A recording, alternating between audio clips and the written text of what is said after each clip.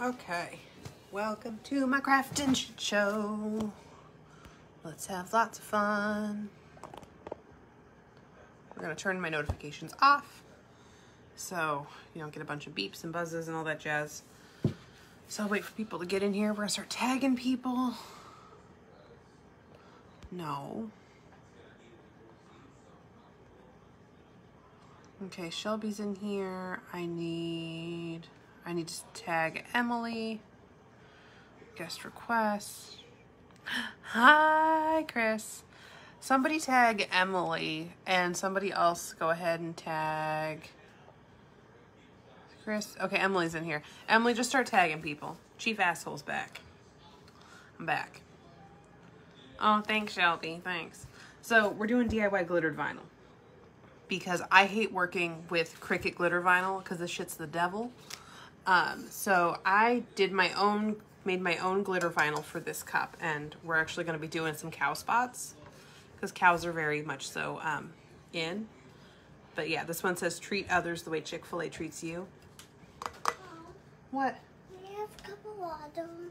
Can you give me a few minutes, please? Yes. Do I look a little busy? Mhm. Okay. All right. Can you like go chill, please? That sounds like it's Emmett and I'm in the middle of something right now. But if you just let him cry it out, he'll be fine. Lil, go upstairs. Now, please. Thank you. Oh, children. Lily, just go. Please go upstairs. Oh my god, why do I have so many children? Anyhow, Cricut glittered vinyl is the devil, and I'll show you why. It is worse than Mod Podge.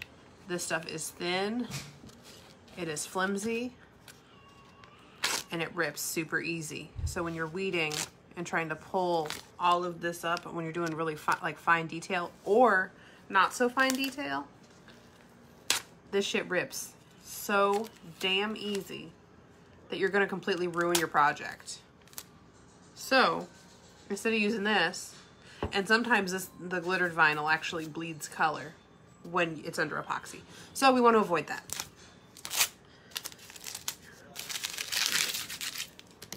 Away with the vinyl.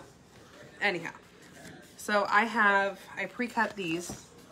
So we're gonna weed it. I'm gonna tilt you guys down. We're gonna weed it and um, there are three different ways that you can apply adhesive to this. You can do Mod Podge, you can use Tack It, you can even use spray adhesive, and I'm gonna use Mod Podge today because I don't wanna go outside and spray. So I'm gonna tilt y'all down so you can see the workspace. And I can still see comments too, so y'all are good. But luckily with these cow spots, they're big enough to where I can just kind of like pop them down when I come to them, and they stick to the my my um, my backing. This is easy. This is the easiest way to do glitter vinyl in the whole world. And I promise you, you will thank me for it later. Especially when you have a project, you're like, damn, I want to put glittered vinyl down. And then you go, shit, I don't have any. Now you will. Now you very much so will. Okay. So we got these cow spots. I'm going to utilize... Where the fuck is it? Where, where in the world did it go? It's over here, I think. Is this my Mod Podge I'm using? Yep. I'm gonna use some Mod Podge, paintbrush, this, and I'm gonna use some black vinyl. This is similar to, it's a holographic black, very much so similar to NYX on the, on the website. Hi, Janine.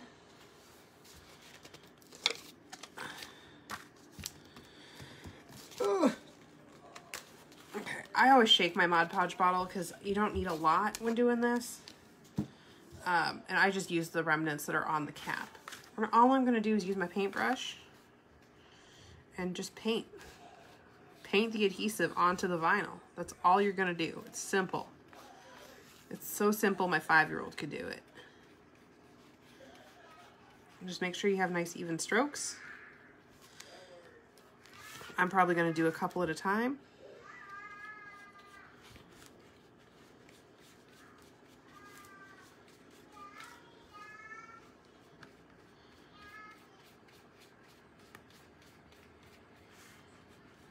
Okay.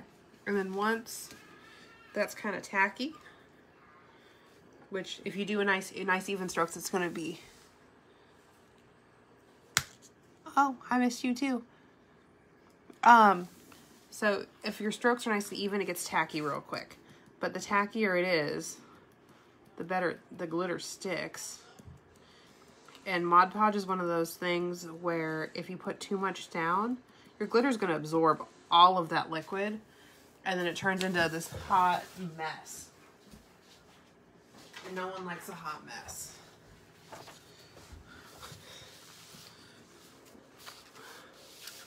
I'm just to turn this over and tap, tap, tap. And then as you can see, there are spots on here that need to, I need to go over it again. And I'm to let that Mod Podge dry completely before going back over.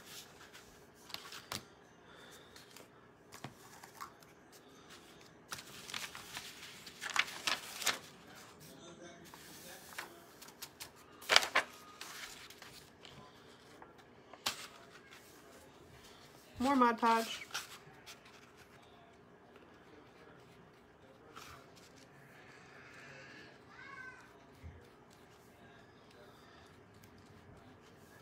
And normally I'd be really concerned about like cross contamination of my glitter and my Mod Podge because I do a lot of fabric tumblers.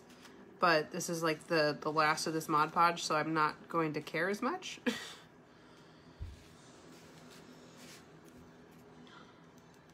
have a giant thing of it that's just for doing my fabric and sealing fabric so I don't have to deal with the cross-contamination issues that a lot of people end up with. This is brilliant. It's easy too. See, in that one, you got nice coverage on that one. Where, shit, where, this one right here. So I'm gonna go grab my, a dry brush real quick. Any dry brush will do. And just so you can see.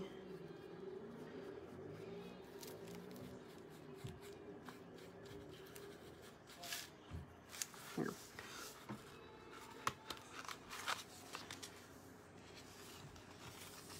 grab one of these. Eh. You could even do the tack it method with this too. Put put some tack it down and then um, and then apply your, your glitter and rub it down. But yeah. Now you have glittered vinyl. I can even put it on my Mod Podge or something. And all you're gonna do is take it. And so at this point, after I have applied, after I've put glitter and Mod Podge down, I would seal it with Rust-Oleum 2X so none of this glitter has travel or movement. And that's the most important thing because when you go to place, let's say you place your little cow spot down and then you put epoxy over this white, white glitter with your little uh, cow spots on there, you're going to get so much glitter travel if you do not seal this. So I would suggest sealing it maybe two times. Three times just to be safe, but two times at the very least. But yeah, that's super duper easy. Easy glitter vinyl. And just plop it onto whatever you need it on and you got glittered vinyl. Make sure you're using a, um, a, a vinyl that's the same as your base color or else it'll be real difficult. Um, if all you have is a white vinyl, you can also tint your Mod Podge with paint, with a little bit of acrylic paint, and then, um, ooh, goodness gracious, with a little bit of acrylic paint, and then place your glitter after you've painted the acrylic and Mod Podge. It's so much easier. So much easier. And I've, I know a lot of people that struggle with like leopard spots and this is what they do because they have a really hard time getting the shapes they want. So they just cut out leopard spots and then pre-glitter them.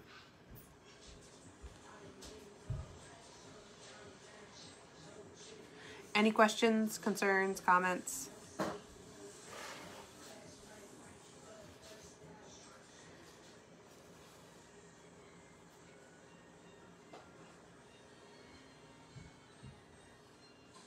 You're welcome. Well, if that's all, I'm going to let you guys go. Get on with your evening. I'm going to get on with my evening. I got a baby crying upstairs. But um please if you if there's anything you want to see live, just shoot me a message and I will make it happen. If there's ever a cup that you want to see done live, shoot me a message and I'll either make it happen or we'll destroy a cup in the process. I'm always down to mess up a cup. But I'm gonna let y'all go. Um, and then I'm gonna go take care of this kid and get some orders rolling. But I hope this was helpful for some people.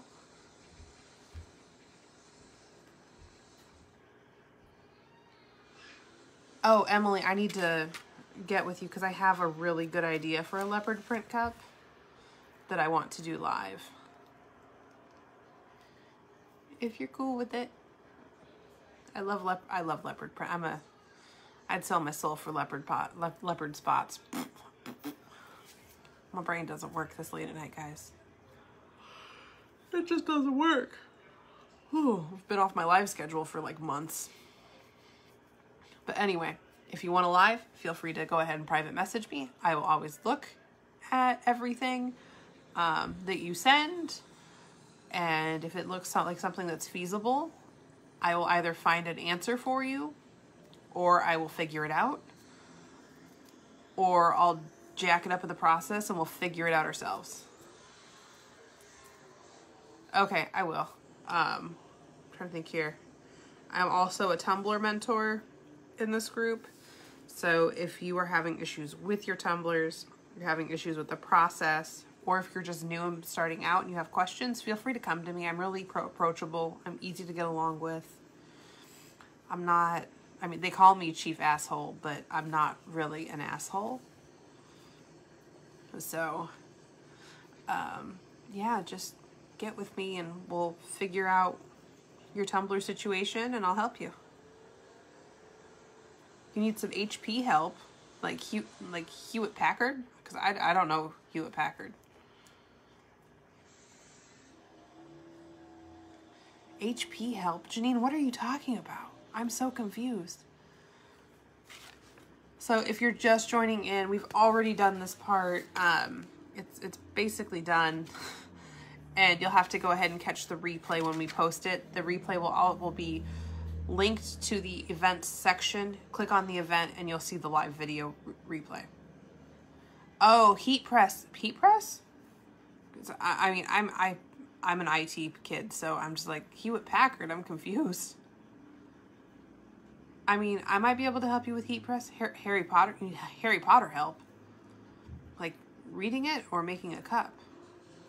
I'm confused. Like I said, my brain is not working, Janine. It's not working at all. I'm so confused. Anyhow, I'm finally gonna let y'all go. oh Jesus, HP. It's always gonna be Hewitt Packard. I'm sorry. Um, Janine, just shoot me a message or even better yet, just call me. You've called me before.